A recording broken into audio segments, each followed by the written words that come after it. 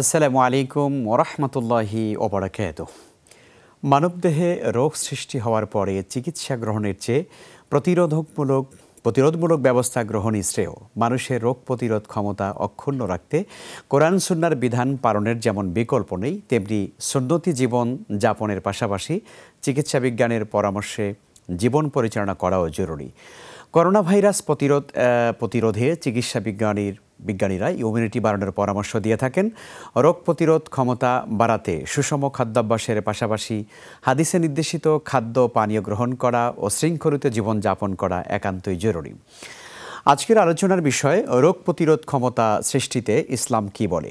সুপ্রিয় দর্শক শ্রোতা, কাছে এবং দূরে যে যেখানে আছেন সবাইকে স্বাগত জানাচ্ছি যমুনা টেলিভিশনের নিয়মিত আয়োজন in the name of Allah অনুষ্ঠানে।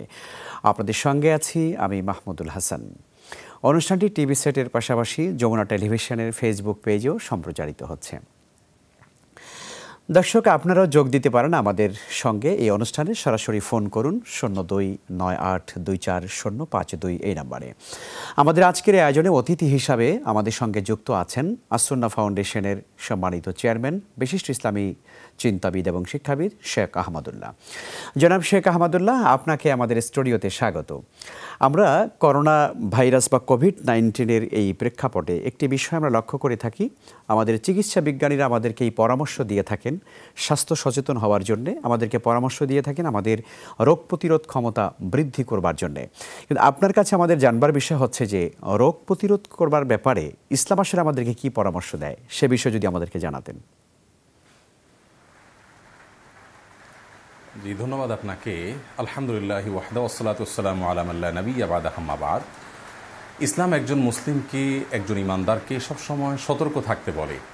একজন ইমানদার কখনো অসতর্ক থাকবেন না, অসচেতন থাকবেন না, অসাবধান থাকবেন না। তিনি তার নিজের ব্যাপারে যেরকম সতর্ক থাকবেন, অন্যের ব্যাপারেও সতর্ক থাকবেন যেন তার দ্বারা অন্য কেউ ক্ষতিগ্রস্ত না হয়। ইসলামের নির্দেশনা হলো, আমরা যখন অসুস্থ হব, তখন চিকিৎসা গ্রহণ করব। নবী আলী ইসরাতাম বলেছেন আল্লাহ সুমাতালা এমন কোনো রোগ সৃষ্টি করেননি যে রোগের প্রতিষেধক বা ঔষধ চিকিৎসা এটা তিনি সৃষ্টি করেননি। তার মানে যত রোগ পৃথিবীতে সৃষ্টি হয়েছে, প্রত্যেকটারই ঔষধ রয়েছে, হয়তো আমরা আবিষ্কার করতে দেরি হয়। কোভিড নাইন্টিন এর এখনও পর্যন্ত সুনির্দিষ্ট কোনো চিকিৎসা আমরা জানি আবিষ্কার হয়নি, যার কারণে সারা বিশ্ব জুড়ে আমাদেরকে সতর্ক থাকতে বলা হচ্ছে। চিকিৎসা বিজ্ঞানীগণ, স্বাস্থ্য বিশেষজ্ঞগণ বলছেন, আমরা যেন যার যার জায়গা থেকে সতর্ক থাকি। সেই সাথে আমরা যেন আমাদের নিজেদের শরীরে প্রত্যেকে যার যার মতো করে রোগ প্রতিরোধ ক্ষমতা বৃদ্ধি করবার চেষ্টা করি। এখন প্রশ্ন হলো যে, রোগ আসলে আমরা চিকিৎসা নেব? এটা তো ইসলাম সম্মত আমরা জানি, রসুল আকরম সাল্লাহাম নিজে চিকিৎসা গ্রহণ করেছেন এবং তিনি বিষয়ে হাদিস বলেছেন। কিন্তু রোগ আসার আগে থেকে আগাম চিকিৎসা, আগাম প্রতিরোধ ক্ষমতা নিজের ভিতরে বৃদ্ধি করা, এটা কি তাকুয়ার খেলাফ কিনা? অথবা তাওয়াক্কুল বা আল্লাহর প্রতি ভরসার পরিপন্থী কিনা? এর উত্তর হলো না। আমরা দেখি রসুল করিম সাল্লাহ আলী আসাল্লাম তিনি আমাদেরকে অনেকগুলো সুন্নাসম্মত খাদ্যের পরামর্শ দিয়েছেন, যেগুলোতে প্রচুর পরিমাণ খাদ্য শক্তি রয়েছে, যেগুলোতে প্রচুর পরিমাণে রোগ প্রতিরোধ করবার মতো উপাদান রয়েছে এবং আল্লাহ সুমাতাল্লাহ সেগুলোর মাধ্যমে আমাদেরকে হেফাজতে রাখেন। যেমন, তিনি আজোয়া খেজুরের কথা বলেছেন, নির্দিষ্ট করে এক প্রকারের বিশেষ খেজুর, যে কেউ যদি প্রতিদিন সাত, সকালে সাতটা করে আজোয়া খেজুর খায়, তাহলে কোনো রোগ তার কোনো ক্ষতি করতে পারে না। তার মানে এ হাদিস থেকে আমরা বুঝলাম যে রোগ আসার আগে থেকে আগাম সতর্কতা অবলম্বন করা এবং শরীরের রোগ প্রতিরোধ ক্ষমতা বৃদ্ধি করবার চেষ্টা করা, এটা ইসলাম সম্মত। এবং আমরা জানি রসুল করিম সাল্লাহ সাল্লাম কালোজিরা সম্পর্কে বলেছেন যে আলহাবুদ্দৌদা বা কালোজিরা এটা সকল রোগের ঔষধ। এমন কোনো রোগ নেই যে রোগের ঔষধ আল্লাহ সুমাতালের মধ্যে রাখেননি। তবে নিয়মিত যদি কেউ কালোজিরা পরিমিতভাবে সেবন করেন, খান এবং গ্রহণ করেন যে শরীরে তার ভেতরে রোগ প্রতিরোধ করবার মতো ক্ষমতা তৈরি হয় বা তাকে আল্লাহ সুমাতালের মাধ্যমে রোগের থেকে হেফাজত করেন। তাহলে এই সমস্ত বিষয়গুলো সিঙ্গার ক্ষেত্রে আমরা দেখতে পাচ্ছি যে সিঙ্গার ব্যাপারে নবী সাল্লাহ সাল্লাম বলেছেন সিঙ্গা অবশ্য গতানুগতিকভাবে গ্রামাঞ্চলে যেভাবে অস্বাস্থ্যকর উপায় হয় সেই সিঙ্গার কথা অবশ্যই বলা হচ্ছে না। যথাযথ নিয়মে যদি কেউ সিঙ্গা গ্রহণ করে, এর মাধ্যমে আল্লাহ সুমাতলা তাকে ব্যাধি থেকে, বিশেষ করে দুরারোগ্য ব্যাধি থেকে তার শরীরকে হেফাজত করেন। তো এই জাতীয় যত হাদিস আছে সেগুলোকে আমরা সামনে রাখলে দেখতে পাই যে এর মাধ্যমে আমাদেরকে কিন্তু রোগ আসার আগে থেকে আগাম প্রতিরোধ করবার মতো সতর্ক থাকা নিজের শরীরের ভিতরে সেই সক্ষমতা বৃদ্ধি করা এ বিষয়ে কিন্তু আমাদেরকে নির্দেশ দেওয়া হচ্ছে। অনেক ধন্যবাদ অনেক ধন্যবাদ শেখ আহমদুল্লাহ। আমরা এই সুন্নতি আমলগুলো জানব ইনশাল্লাহ তালা যে কোন কোন কাজগুলো করলে বা কোন জাতীয় খাবারগুলো খেলে পরে আমাদের রোগ প্রতিরোধ ক্ষমতা বৃদ্ধি পাবে যেগুলো সুন্না দ্বারা আপনি বলছিলেন। আমরা আসব আপনার কাছে এখানে একজন দর্শক রয়েছেন আমরা দর্শকের প্রশ্ন নিচ্ছি। আসসালামু আলাইকুম দর্শক আপনার পরিচয় দিয়ে প্রশ্ন করুন। ওয়ালাইকুম আসসালাম। আমি মাহমুদুল ভাই আমি সিরাজগঞ্জ থেকে শাহিন বলছি। জি বলুন বলুন। আপনি আপনার সাথে আমি ইভেন্ট করছি ওই যে জিপি স্টারের ইভেন্ট করছি। আপনার সাথে আমার পরিচয় আছে। যাই হোক আমি একটা প্রশ্ন করতে চাই। হয়তো এই প্রসঙ্গে না অন্য একটা প্রসঙ্গে আমি প্রশ্ন করতে চাই। জি বলুন। আচ্ছা আমার প্রশ্নটা হলো যে এই যে আমরা ব্যবসায়িক যারা আছি, তারা বিভিন্ন সময় তো সরকারকে ব্যাক ট্যাক্স দিয়ে থাকি হ্যাঁ? আমাদের লাভের একটা অংশ আমরা সরকারকে দিয়ে থাকি। এই অংশগুলো বা এই টাকাগুলো কি জাকাত হিসেবে গণ্য হবে কিনা? আচ্ছা। এই বিষয়ে আমি একটু জানতে চাই। অনেক ধন্যবাদ আপনাকে। আমাদের সঙ্গে যুক্ত হওয়ার জন্য আমরা আহ, শেখ আহমদুল্লাহর কাছ থেকে আমাদের এই প্রশ্নের উত্তর নিচ্ছি আপনার প্রশ্নের উত্তর নিচ্ছি। আহ, জি মোহতারাম আমাদের ভাই যে প্রশ্নটি করেছেন আপনি শুনেছেন। একটু যদি বলতেন পুরোপুরি পরিষ্কার ছিল আচ্ছা আমাদের ভাই প্রশ্ন করেছেন যে উনি ব্যবসা বাণিজ্য করেন সেই ব্যবসার ক্ষেত্রে সরকারকে একটা অংশ দিতে হয় মানে ট্যাক্স দিতে হয় আমরা জানি। তো উনি বলছেন যে ট্যাক্সের এই টাকাটা কি জাকাত থেকে এটা গণ্য করা যাবে কিনা মানে জাকাত থেকে এটা ধরা যাবে কিনা বা বাদ যাবে কিনা সে বিষয়টি। জি জি জি জি। জি, এর উত্তর হলো যে আমরা সরকারকে যে ট্যাক্স দিয়ে থাকি, সেই ট্যাক্সটাকে আমরা জাকাত হিসাবে কাউন্ট করতে পারব না। জাকাতটা আমাকে আলাদাভাবে কাউন্ট করতে হবে। এর অনেকগুলো কারণ রয়েছে। তার মধ্যে একটি কারণ শুধু আমরা উল্লেখ করব, সেটি হলো আমরা যেই টাকাটা গভর্নমেন্টকে ট্যাক্স হিসাবে দিয়ে থাকি, অনেক ক্ষেত্রে সেটা কিন্তু তার বিপরীতে আমরা সার্ভিস নিয়ে থাকি। অর্থাৎ গভর্নমেন্ট আমাকে অনেক সার্ভিস দিচ্ছেন এবং আমি দেশে সাধারণভাবে একজন নাগরিক হিসেবে চলাফেরা করতে গিয়ে আমরা কিন্তু অনেক সার্ভিস ভোগ করছি। গভর্নমেন্টকে টিকিয়ে রাখা, এটাও অনেকটা আমাদের স্বার্থে বলতে পারি। অর্থাৎ এটার একটা সার্ভিস আমরা পাচ্ছি। তাহলে ট্যাক্স দিয়ে কিন্তু আমি তার বিনিময়টা নিজে আমি নিচ্ছি ফিডব্যাকটা আমি পাচ্ছি। তাহলে সেটা কম হোক, বেশি হোক, সেটা ভিন্ন বিষয়। তাহলে জাকাত তো এমন জিনিস যে আপনি দিয়ে দিবেন অভাবী মানুষকে, সেখান থেকে আপনার কোনো ফিডব্যাক আসবে না। শুধু আল্লাহর জন্য আপনি দিয়ে দিবেন পুরোপুরি। অতএব ট্যাক্সটাকে জাকাতের সাথে মেলালে কোনোভাবে সঠিক হবে না, বরং ট্যাক্সটা আপনার সরকারের সাথে আপনার ইস্যু আর জাকাতটা এটা আল্লাহ সুমাতালার ইস্যু এটা দেওয়ার নির্দিষ্ট খাত রয়েছে। শুধুমাত্র অভাবী মানুষকে আপনি দিবেন। আটটা খাতের ভিতরে মৌলিক খাত সেটাই। অতএব ট্যাক্সের খাত কিন্তু সেটা নয়। ট্যাক্স কিন্তু দেশের সার্বিক উন্নয়নে ব্যয় করা হবে যে আমরা বুঝতে পেরেছি। আমরা বুঝতে পেরেছি। অনেক ধন্যবাদ শেখ আহমদুল্লাহ। আমরা মূল আলোচনায় আবারও চলে আসতে চাই যেগুলো আপনি বলছিলেন যে কোরআন এবং সুন্নার নির্দেশিত যে বিষয়গুলো আছে রোগ প্রতিরোধ ক্ষমতার বৃদ্ধির জন্য সেখান থেকে বলবেন। আমরা যে জায়গাটাতে ছিলাম, অর্থাৎ রসুল করিম সাল্লাহ আলহি ওয়াসাল্লাম কিন্তু সকাল সন্ধ্যায় আমাদেরকে অনেকগুলো দোয়া শিক্ষা দিয়েছেন। তার মধ্যে থেকে একটি দোয়া হলো বিসমিল্লাহিল্লাদি লা ইয়াদুররু মাসমিহি শাইউন ফিল আরদি ওয়ালা ফিস সামা ওয়া আলিম। এই দোয়াটার অর্থ হলো, ওই আল্লাহর নামে আমার সকাল অথবা সন্ধ্যা শুরু করছি, যার নাম সঙ্গে থাকলে বা যার ফয়সালা থাকলে আসমান এবং জমিনে নবমণ্ডলে, ভূমণ্ডলে কোনো কিছু আমার কোনো ক্ষতি করতে পারবে না। তিনি সব কিছু শ্রবণ করেন। এই দোয়াটা সকালে যদি কেউ তিনবার পড়েন, সারাদিন আল্লাহ তালা তাকে যে কোনো বিপদ থেকে, আকস্মিক মুসিবত থেকে হেফাজতে রাখেন। সন্ধ্যা রাখ পড়লে সারা রাত তাকে হেফাজতে আল্লাহ তালা রাখেন। তাহলে বিপদ আসবার পরে ব্যবস্থা গ্রহণ করা, এটা তো ইসলাম সম্মত বটেই, কিন্তু বিপদ আসবার আগে থেকে সতর্ক থাকা এবং নিজে থেকে প্রতিরোধ ক্ষমতা নিজের ভিতরে সৃষ্টি করা, এটাও ইসলাম সম্মত এই হাদিস থেকে আমরা বুঝলাম। যার কারণে বর্তমান পরিস্থিতিতে সুষম খাবার থেকে নিয়ে ভিটামিন সি ডি খাদ্য আহ, গ্রহণ করা থেকে নিয়ে আমাদের চিকিৎসকগণ যে সমস্ত পরামর্শ আমাদেরকে দিচ্ছেন সমস্ত বিশেষজ্ঞগণ সেগুলোকে নিজের ভিতরে গ্রহণ করা এ উদ্দেশ্যে যাতে কোভিড নাইন্টিনে আমি আক্রান্ত না হই। এটা ইসলাম সম্মত এবং রসুল করিম সাল্লাহ সুন্না সম্মত। অনেক ধন্যবাদ আমরা সুন্দর বিষয়টি জানলাম আমরা আহ, সেটা গ্রহণ করবার চেষ্টা করব। শেখ আহমদুল্লাহ আটজন দর্শক রয়েছেন আমরা দর্শকের প্রশ্ন নিব ইনশাল্লাহ সালাম আলাইকুম দর্শক আপনার পরিচয় দিয়ে প্রশ্ন করুন। জি আমি মোহাম্মদ জুনেদ আহমদ নবীগঞ্জ থেকে। আমার প্রশ্নটা হলো করোনা মহামারীর মাধ্যমে আমরা কি ছেলে বা রোগ প্রতিরোধ ক্ষমতা আমাদের অর্জন অর্জন করতে পারি এই সম্পর্কে আর কি? আপনি কি জানতে চেয়েছেন দর্শক? আরেকবার বলবেন? আমি এই কথাই জানতে চাইছি করোনা মহামারীর মাধ্যমে রোগ প্রতিরোধ ক্ষমতা মানে খাওয়ার মাধ্যমে আমরা কি করতে পারি আচ্ছা আচ্ছা। জি অনেক ধন্যবাদ। আমরা সেই প্রসঙ্গে আলোচনায় ছিলাম। আপনি আমাদের সঙ্গে থাকুন ইনশাআল্লাহ তাহলে আপনি উত্তর পেয়ে যাবেন। যে শেখ আহমদুল্লাহ উনি আমাদের আজকের টপিকের উপরই প্রশ্ন করেছেন আমরা কি কি খাবার খেতে পারি যাতে আমাদের রোগ প্রতিরোধ ক্ষমতা বৃদ্ধি পায়। জি। আমরা সে বিষয়ে বলছিলাম যে এই বিষয়ে ইতিমধ্যে বিভিন্নভাবে আমাদেরকে সচেতন করা হচ্ছে। সংশ্লিষ্ট বিশেষজ্ঞগণ বলেছেন, এটি আমাদের টপিক নয় যদিও যে কোন কোন খাদ্যে রোগ প্রতিরোধ ক্ষমতা আমাদের শরীরে বেশি বৃদ্ধি হবে তো ভিটামিন সি, ভিটামিন ডি, বিশেষ করে লেবু ইত্যাদি খাবারের কথা বলা হচ্ছে বিভিন্নভাবে। আমরা সেই জায়গায় ছিলাম। এর পাশাপাশি বিশেষ কিছু খাবারের কথা হাদিসে বলা হয়েছে। এগুলো বৈজ্ঞানিকভাবেও প্রমাণিত যে এই সমস্ত খাবারগুলোতে মানুষের শরীরের ভিতরে রোগ প্রতিরোধ ক্ষমতা বৃদ্ধি হয় এবং এগুলোর মাধ্যমে আল্লাহ সুমাতাল আমাদেরকে বিভিন্ন রোগ বালাই থেকে হেফাজতে রাখেন। তমধ্যে থেকে আমরা বলেছি কালো জিরার কথা। কালো জিরা এটা উপকারী। এটার তৈল হোক অথবা সরাসরি হোক খাদ্য হিসাবে গ্রহণ করা। নবী আলী সালাম বলেছেন, মৃত্যু ছাড়া যে কোনো রোগের জন্য ঔষধ হিসাবে বা প্রতিষেধক হিসাবে এটা কাজ করে। এটা খেলে আল্লাহ সুমাতালা রোগ থেকে আগাম হেফাজত তাকে রাখেন। এর বাইরে আমরা আজোয়া খেজুরের কথা বলেছি এবং সিঙ্গা বৈজ্ঞানিকভাবে এখন কাপ বলা হয়। এই সিঙ্গা বা কাপ এটা গ্রহণ করার যথাযথ নিয়ম অনুযায়ী সেটার মাধ্যমে আমরা করতে পারি।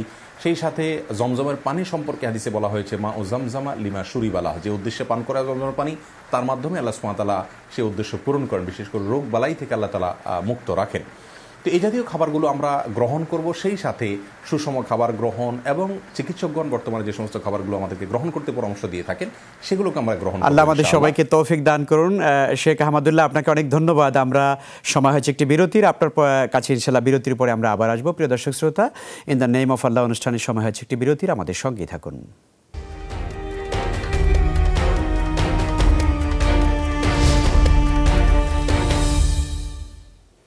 আবার স্বাগত। আপনারা দেখছেন in the name of Allah অনুষ্ঠান। অতিথি হিসাবে আজ আমাদের সঙ্গে যুক্ত রয়েছেন আসুন্না ফাউন্ডেশন ঢাকার সম্মানিত চেয়ারম্যান, বিশিষ্ট শিক্ষাবিদ এবং মিডিয়া ব্যক্তিত্ব শেখ আহমদুল্লাহ।